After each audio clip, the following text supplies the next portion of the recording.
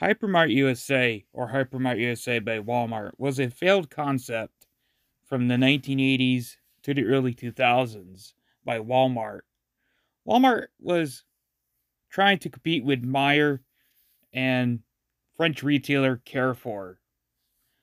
The stores were huge. They had supermarkets and department store, pharmacy, and three restaurants inside. Subway, McDonald's, and Popeyes.